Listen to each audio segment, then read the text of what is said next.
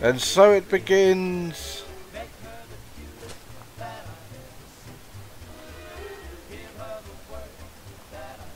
Tanuka World!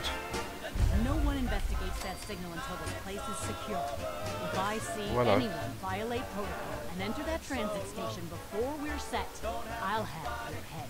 Now pick up the pace. I want to be able to report back to Cypress ASAP.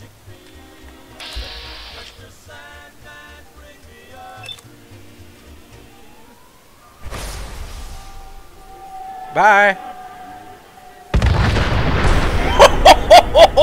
Fucking hell!